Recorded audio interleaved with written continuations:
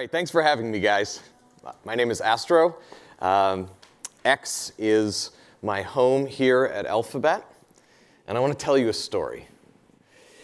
Two weeks ago, I had this thing happen that was, it seemed bad. It seemed like something really bad had happened for about 30 seconds, and then I got really excited. So we have this um, award. It's a trophy. The Audacious Goals Award at X. It's really hard to get. So hard to get that even though we have a lot of teams and potentially someone can win it at the end of every quarter, no one has won this award for a year now. And people covet this award. It was about two or three years ago. I remember the team, it was a team of patent lawyers, won it, and there were tears streaming down their face while they were standing on stage because they had won this award.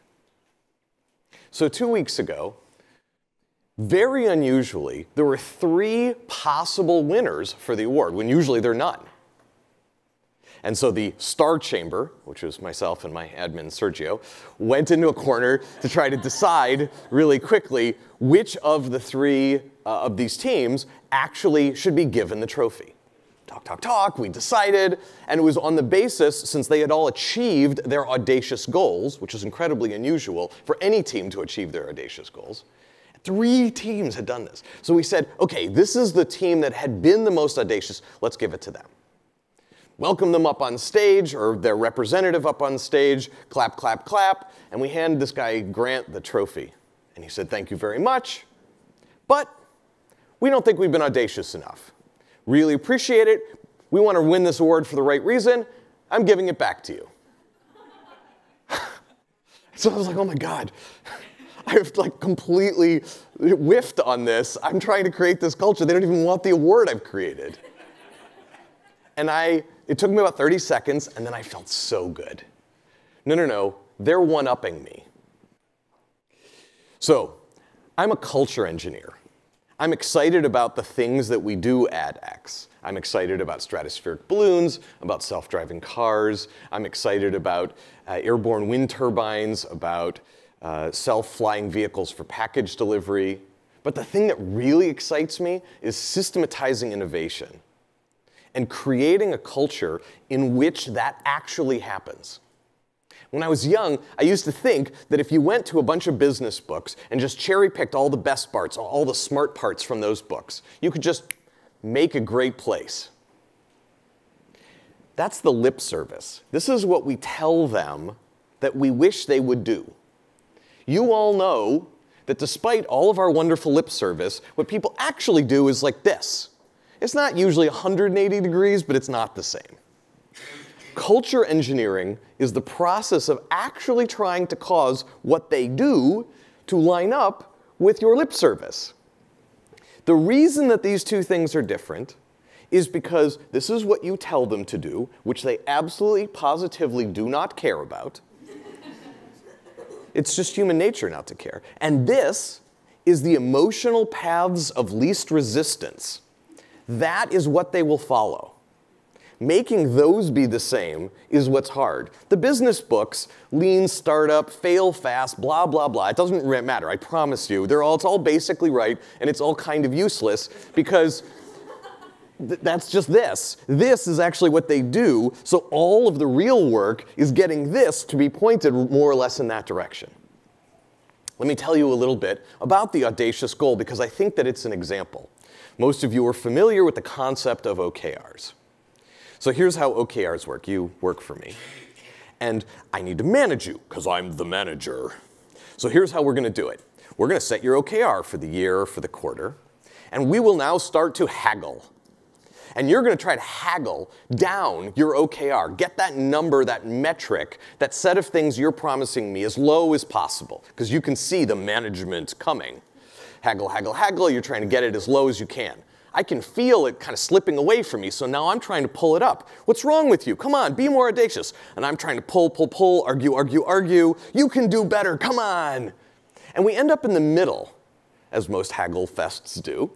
And now she doesn't feel like she owns that OKR because it's higher. She was making all these arguments about why it's unreasonable because she was trying to get it low, and it's much higher than what she was asking for. So now she feels like it's my number, it's not her number. And so she's kind of grumpy about it and doesn't have any ownership of it before we've even started the quarter or the year.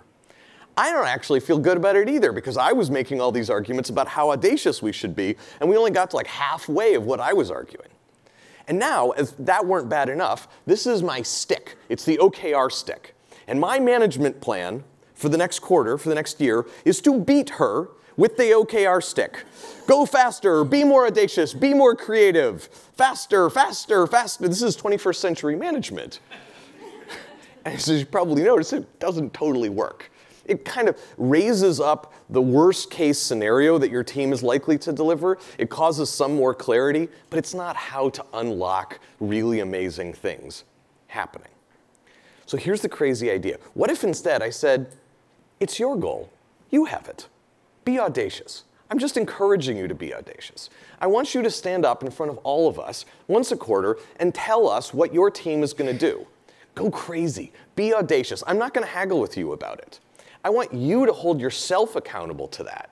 And this whole community is going to hold you accountable. And for the pride of being audacious, you're going to pick something. An audacious goal, by definition, is something that you can accomplish about 10% of the time. If you know you can't accomplish it, that's not motivating. You won't even try. If you're certain, or it's even likely that you can accomplish it, pretty much by definition, that's not audacity. If it's 10% of the time, you're signed up to most of the time not succeed. You have to create a culture, and I'll give you a few other examples about how that's possible.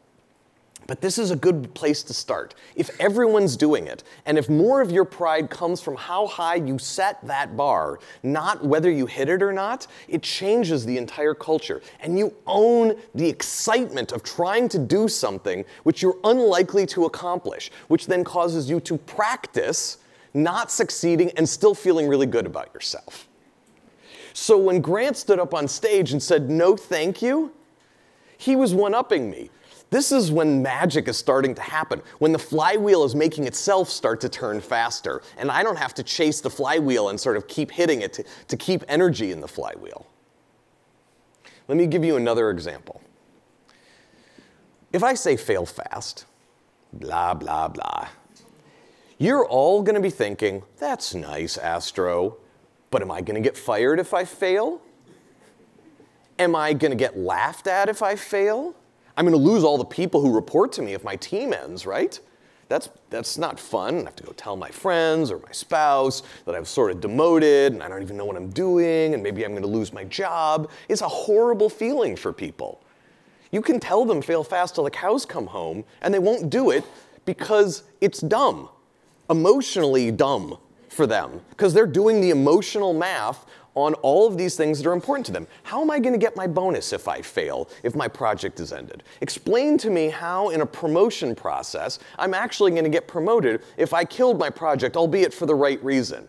I know I'm not going to, Astro, so you can say fail fast, and I'm just going to keep doing what I'm doing, which is holding on to my lame project, and you know, you can claw it out of my cold, dead fingers.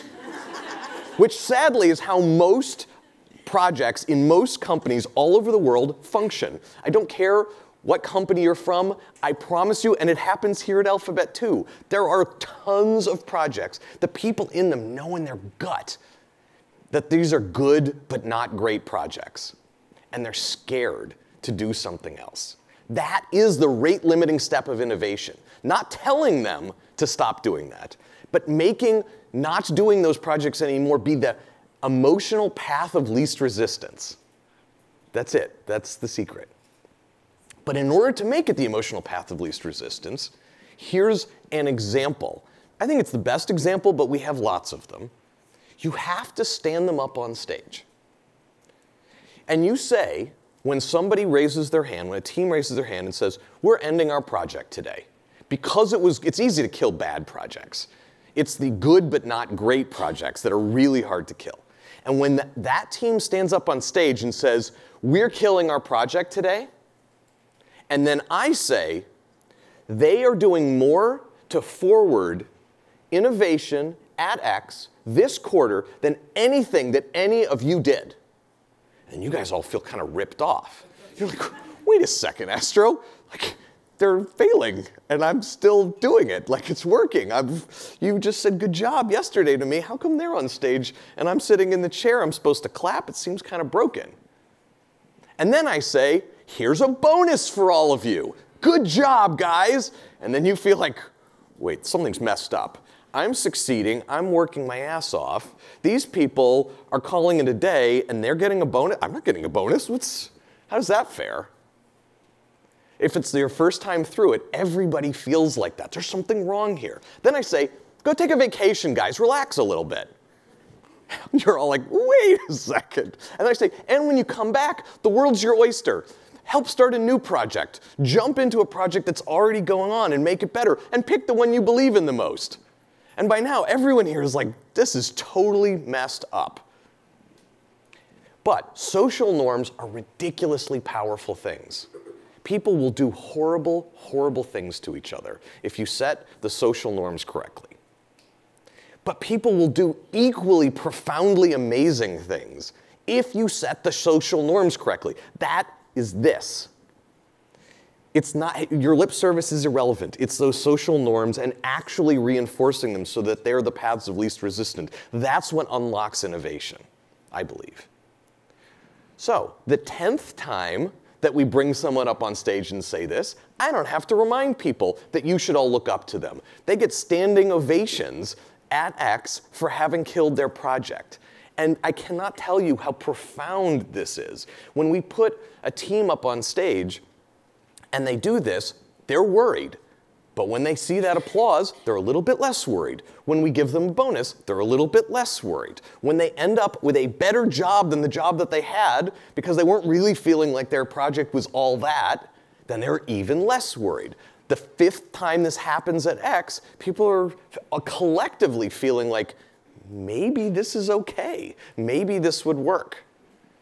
It doesn't make us any smarter about the projects that we start, but if we can just on balance stop the bad ones a little bit sooner, it unlocks a huge amount of incremental efficiency, and it means we can take more risk starting things that have a bigger spread. Because the truth is, innovation, you can't tell in the early days whether it's brilliant or crazy.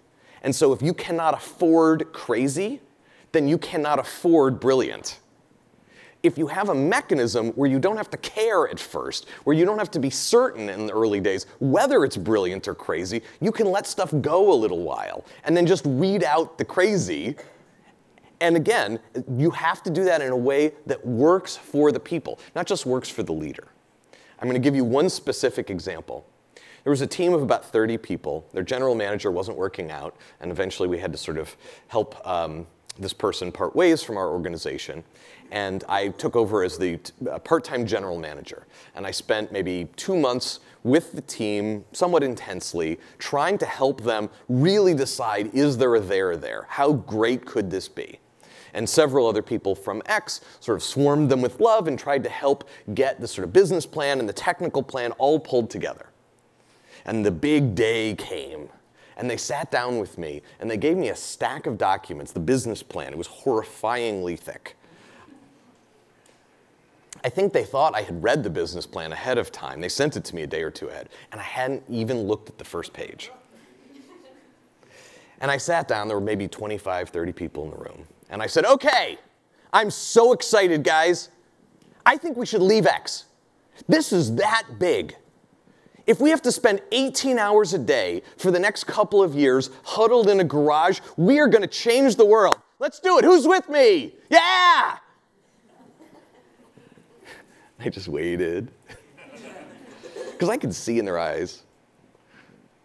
I waited.